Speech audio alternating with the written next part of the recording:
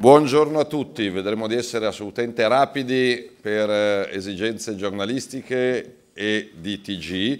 Salutiamo anche chi è collegato online tramite Instagram, tramite Facebook, tramite i social. È una bella giornata.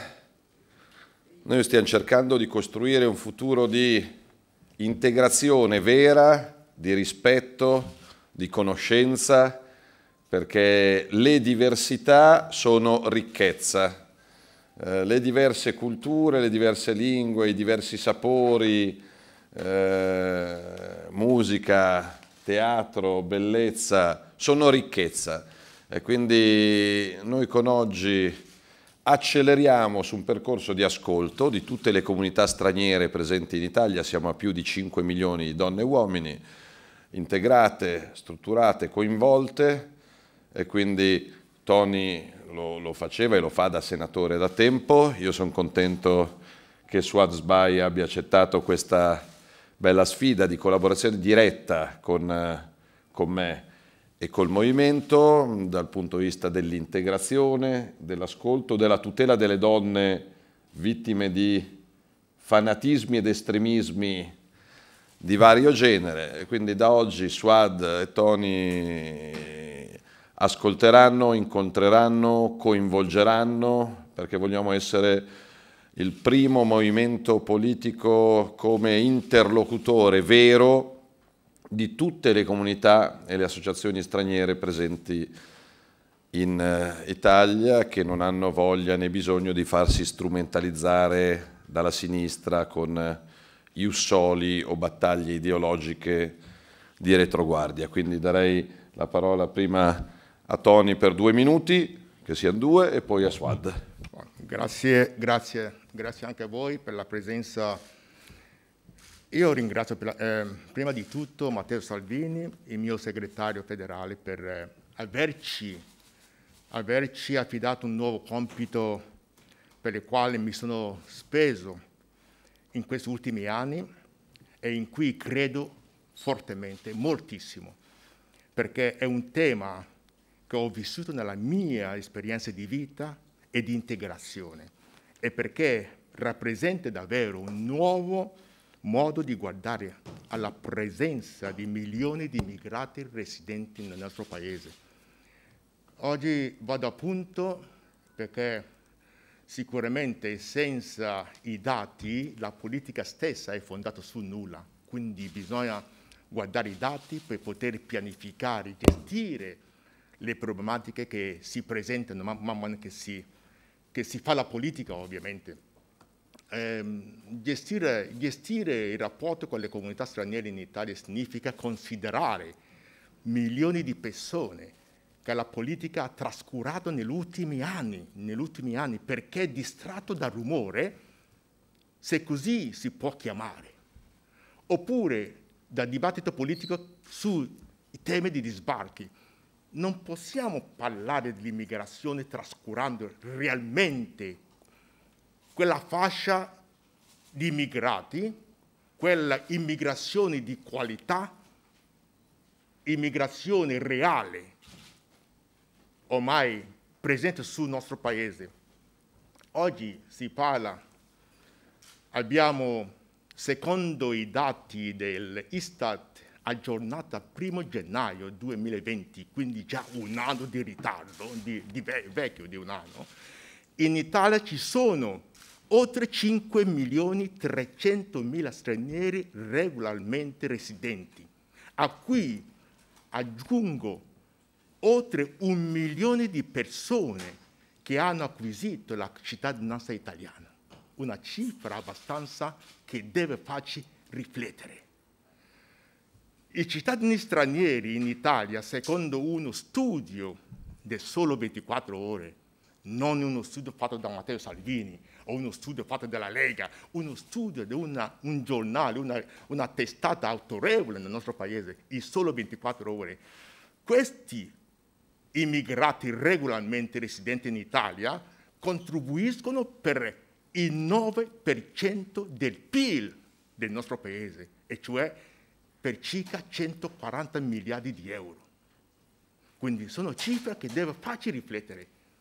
di tutelare, di guardare dall'altra parte, ovviamente incentivando quell'immigrazione di qualità in cui questo Paese ha bisogno.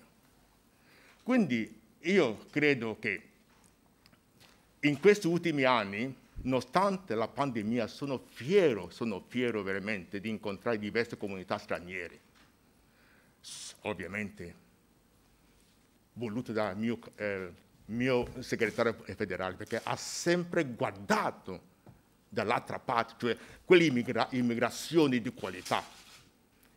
Dobbiamo insistere su questo, dobbiamo non trascurarli, non dimenticarli, perché esistono l'immigrazione di qualità, quella immigrazione di cui il nostro Paese veramente ha bisogno. Grazie Matteo.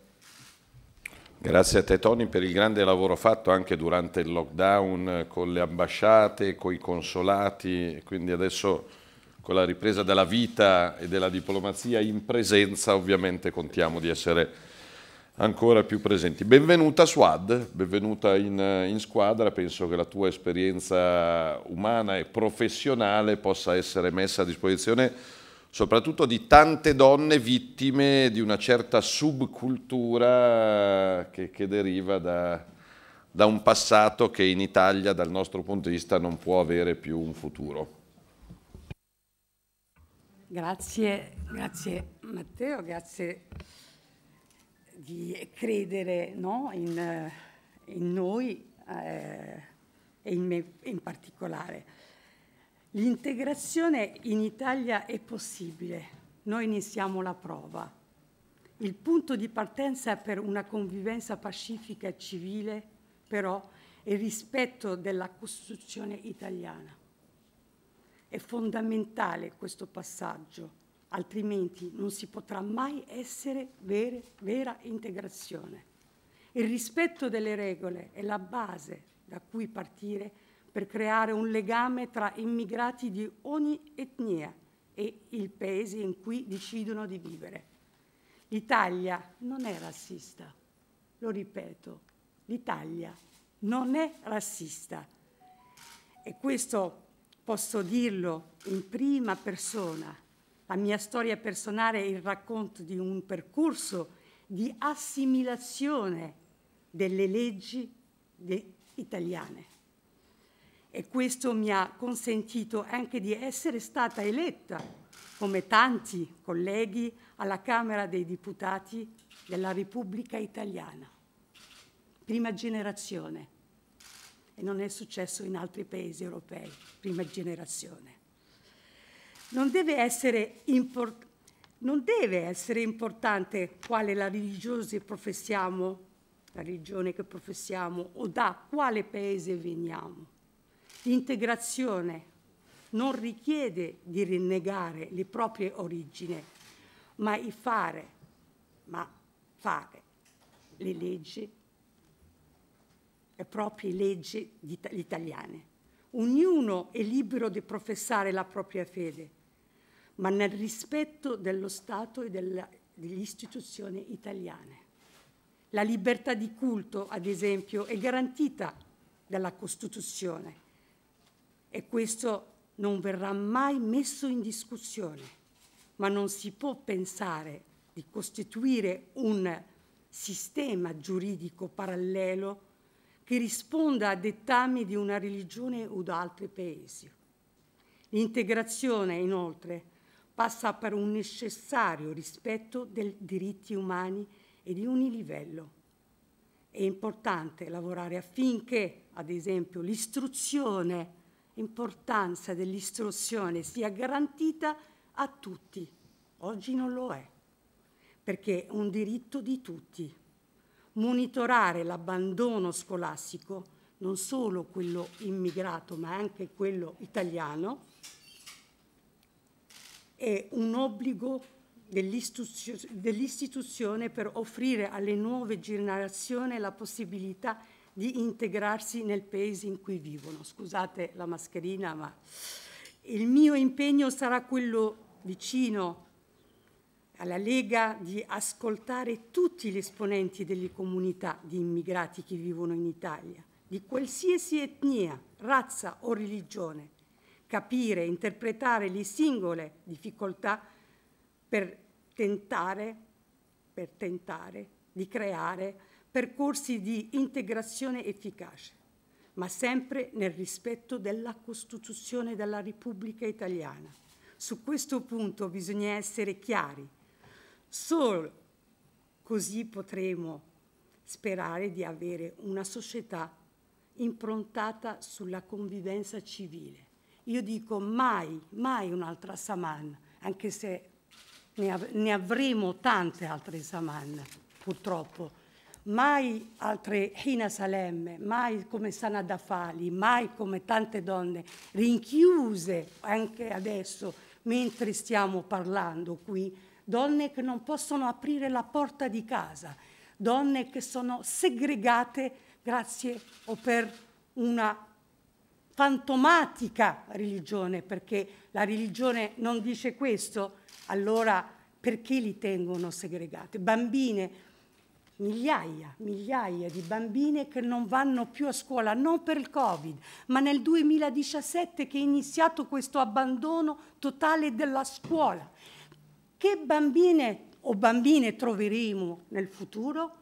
Che cosa? Di radicalizzati? Certamente, certamente troveremo dei radicalizzati. Che cosa vuol dire radicalizzati? Ragazzi che se auto, i genitori li auto-istruiscono dentro casa con il computer su un pensiero sicuramente di una religione radicale, ma qui soprattutto.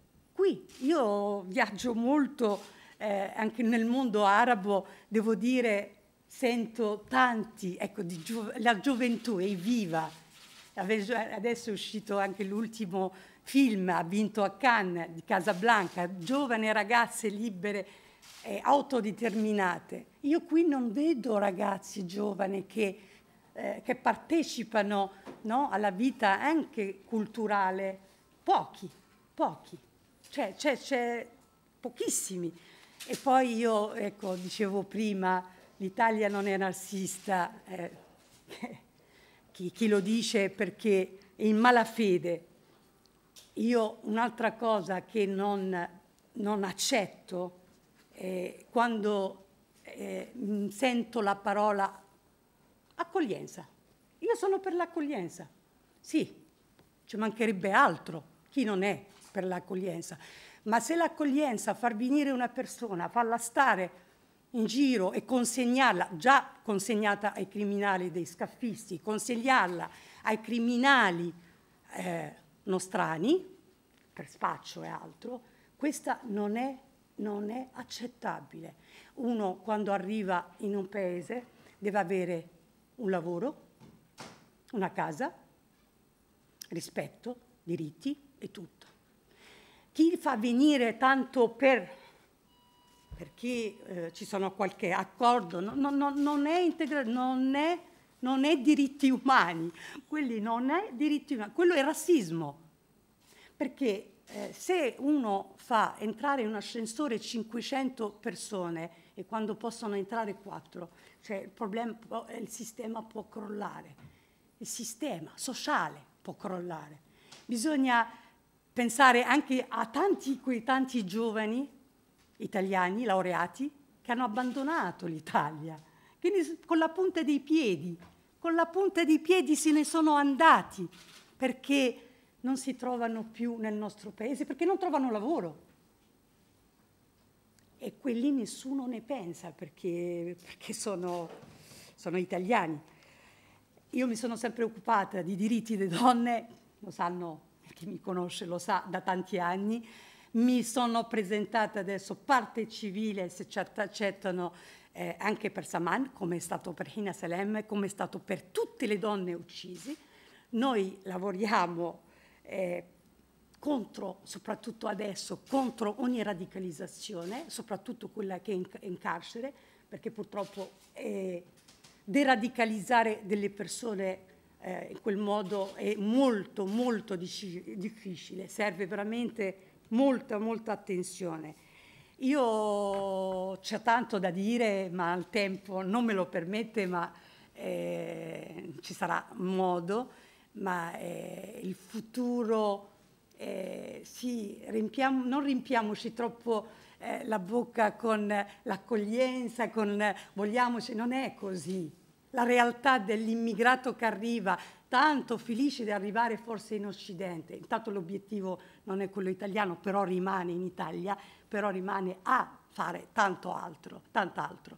Io penso che dobbiamo fare dei passi eh, indietro e parlare, parlare e non inserire quella parola razzista facilmente o islamofobo che è stata, eh, è stata aggiunta da, eh, da un certo gruppo di estremismo. Certo le moschee sono alcune, alcuno, alcune per fortuna sono controllate, alcune eh, invece lavorano sotto e quelli vanno controllati, ma questo sarà tema comunque di discussione. Grazie.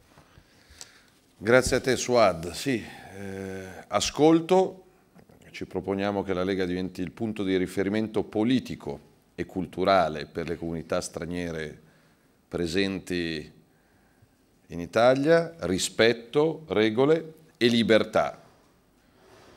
Libertà religiosa, libertà educativa, libertà di stampa, libertà di impresa, libertà di pensiero, eh, libertà di cura, concetto che a qualcuno a sinistra è ignoto, repetita Juvent, visto che anche in questa occasione il governatore del Lazio o non capisce o fa finta di non capire.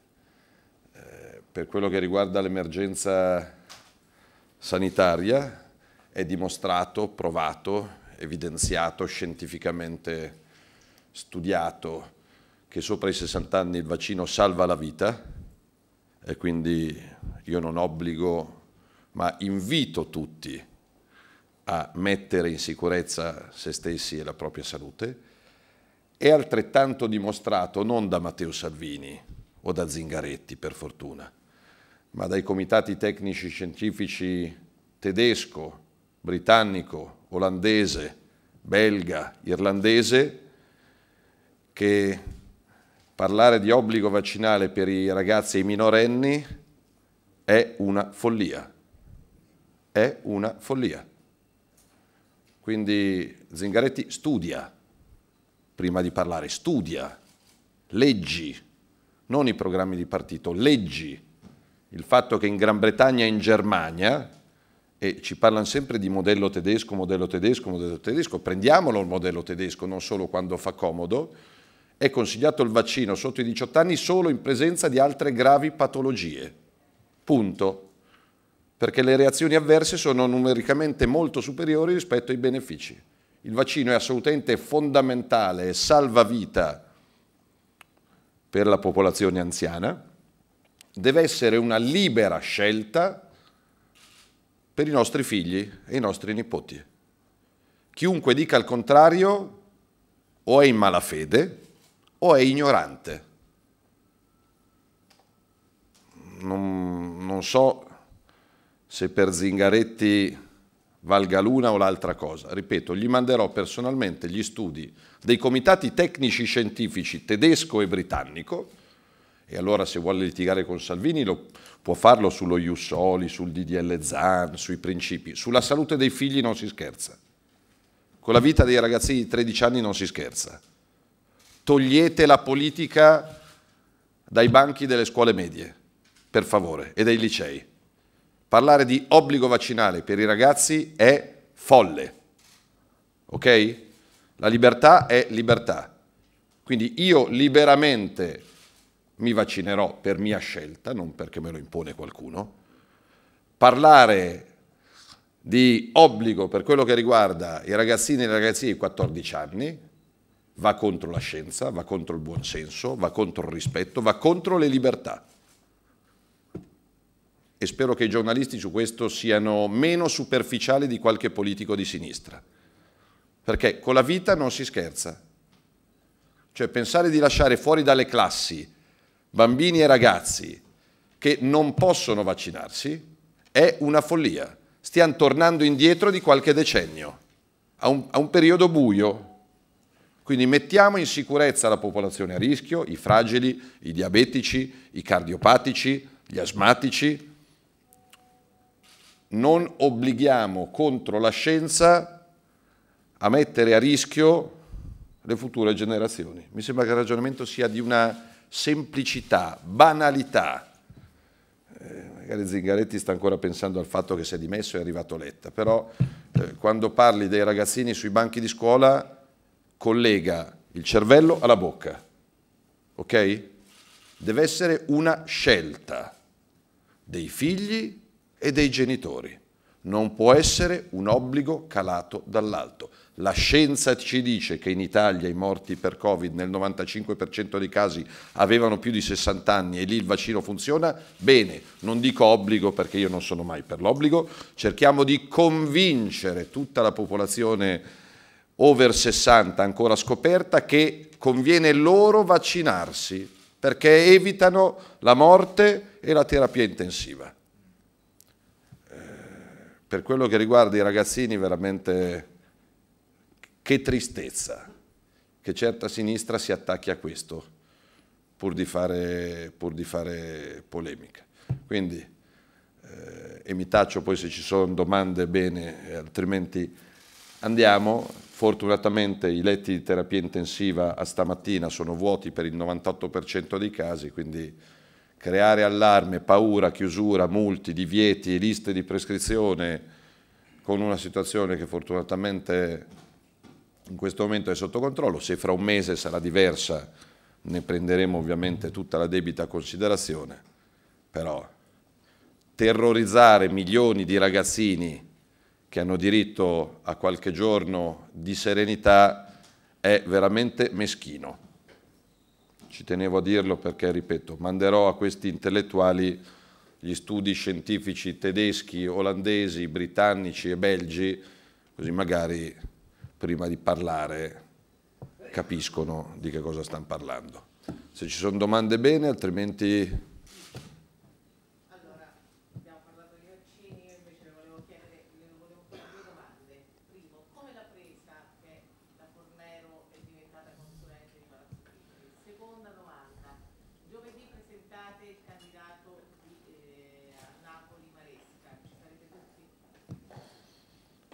Io giovedì sarò a Napoli, non so dove siano gli altri, non ho le agende degli altri, onestamente mi interessa che sia il candidato di Tuccio al centrodestra come a Bologna, dove ero ieri, abbiamo, eh, Battistini è il candidato di tutto il centrodestra, per quanto riguarda la Fornero per me con tutto il rispetto conta men che zero, quindi è una consulente del signor Tabacci, io penso che per...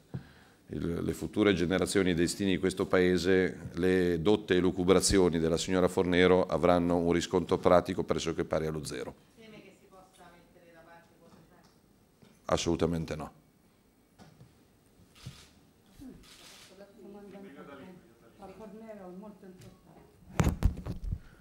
Buongiorno, Elisa Saltarelli, prima pagina. Allora, la prima domanda è per il senatore Salvini. Il senatore ha saputo, ha letto che la stampa olandese ha pubblicato un'analisi e la conclusione è stata con Salvini c'erano meno morti e meno sbarchi. Volevo sapere se questa cosa l'ha letta e ovviamente se le ha fatto piacere, se l'ha fatta riflettere. E poi l'altra domanda invece per Suad Sbai che saluto personalmente, eh, la conosco e mm, ci tenevo a salutarla personalmente.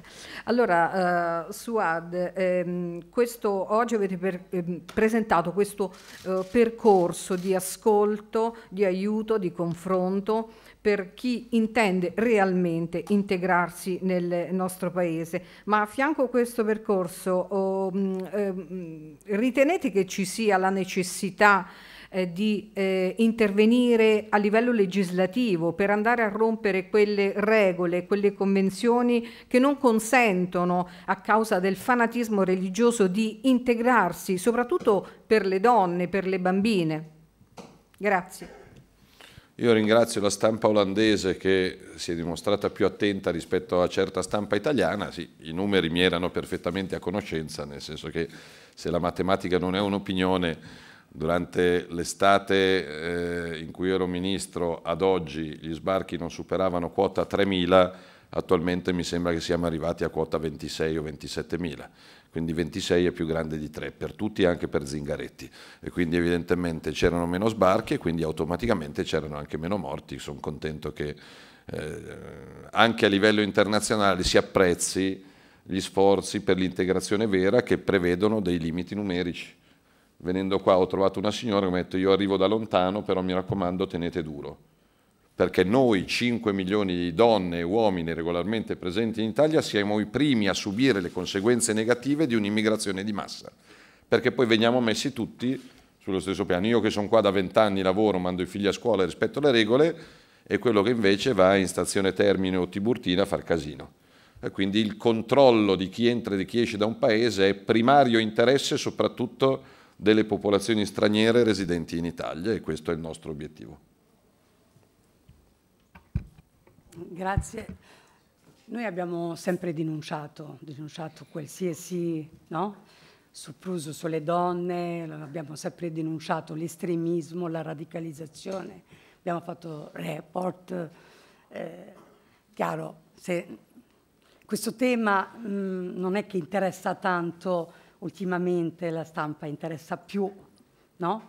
quando succede qualche eh, fatto. No? Eh, contrario, qualche fatto che interessa più a, a una parte, una certa politica, una certa sinistra, diciamo, eh, diciamola tutta. Noi, eh, certo, eh, la battaglia che portiamo, battaglia, quella eh, per l'integrazione è quella di aiutare le donne, bambini e poi anche uomini che non vogliono allinearsi con una certa eh, comunità estremista che non ha nulla a che vedere col mondo arabo. Uno, è questo che molti giornalisti non ne parlano, ma non ha nulla a che vedere con il mondo arabo. Delle volte eh, non, non, non, guardiamo no, all'altra sponda, quello che sta succedendo, i cambiamenti. Dopo la primavera araba cosa è successo? E gli arabi, proprio anche moderati, che cosa ne pensano? Nessuno. Ha... Loro, molti, molti, giornalisti me lo chiedono. Noi vogliamo donne velate. Se ci porti nella trasmissione solo la donna velata, se no, no. Cioè, cioè, anche questo no? non ci aiuta anche a cambiare mentalità, non ci aiuta a cambiare no, eh, pensiero, però siamo in una buona strada, nel senso alla fine eh, sono usciti tanti articoli, stiamo facendo tanto lavoro anche con altre donne del Mediterraneo, altre donne italiane, eh, per cercare di eh, rallentare il processo dei fratelli musulmani, che è un progetto politico che non ha nulla a che vedere della religione, è un progetto politico, economico, sociale che va frenato come stanno facendo tanti paesi anche arabi. Grazie. Perfetto, io... Al... 20 secondi.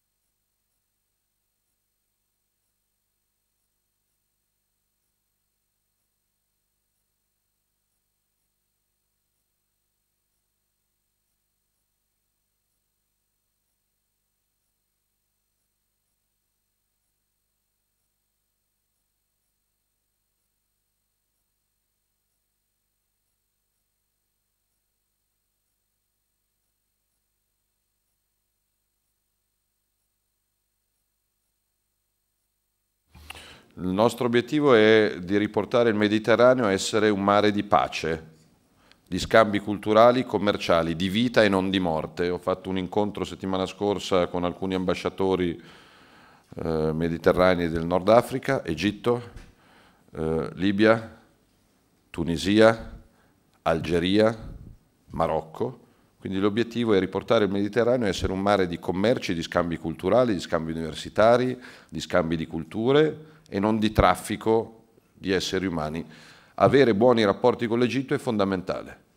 Giusto chiedere chiarezza su alcuni eventi luttuosi che si sono verificati, non possiamo permetterci di perdere le relazioni storiche, passati, presenti e future con l'Egitto, che per noi deve essere uno dei partner principali da tutti i punti di vista. Su questo sono assolutamente chiaro. Ora perdonatemi perché a proposito di DDL ZAN ho l'incontro con alcune realtà del mondo gay alle 12.30. Oggi è una giornata che spero metta la parola fine a questo scontro, eh, sperando nel, nel dialogo anche da questo punto di vista e quindi ci aggiorniamo più tardi e grazie a tutti, buon lavoro a tutti.